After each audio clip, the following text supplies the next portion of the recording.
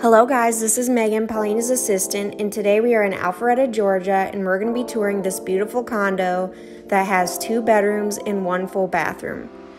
It was built in 2021 and it has 1,340 square feet. If you're ready, follow me.